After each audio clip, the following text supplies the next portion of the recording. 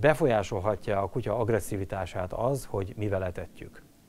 Ez egy visszatérő kérdés, legfőképpen a, a, abban az időben volt ez egy nagyon sláger kérdés, amikor a, a Staffordshire, meg a Bull Terrier, meg a, a Pitbull a, hát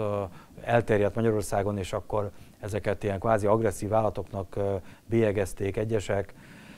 Ma már tudjuk, hogy nem ezen múlik, hanem azon múlik, hogy az ember hogyan áll a, a kutyához, és nem az etetésen múlik az, hogy a kutyának milyen lesz a viselkedése, hanem egyfajta mintákat követ a kutya. Ha olyan környezetbe helyezzük, ahol csupa már agresszív állat van, akkor ő is átveszi ezeknek az agresszivitását. Ha olyan gazdához kerül, aki agresszivitásra neveli, és maga is egy agresszív alkat, akkor a kutya is agresszívá válhat, agresszívá válik, mondjuk ezt kijelentő módban, mert hiszen ezt tapasztaljuk,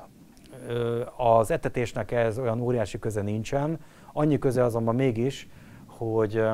gyakran a, a, ez a fajta magatartás, ami a tulajdonostól áramlik a kutya felé, ez még etetési hibákkal is párosul, hiszen a, a gazda maga gondolja azt, hogy ha csak nyers marhahúst ad mondjuk a, a kutyájának, akkor ez majd az agresszivitását fokozni fogja,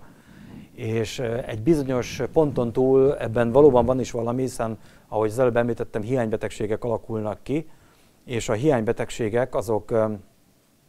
olyan diszkomfort állapotba hozzák az állatot, amelyek kibillentik az egyensúlyából egy bizonyos idő után. És ezek a, az ilyen állapotban levő állat az hajlamosabb az agresszivitásra, de ez nem pusztán a, a táplálékból vezethető le, hanem azért ennek a legnagyobb oka maga az ember, maga a gazda.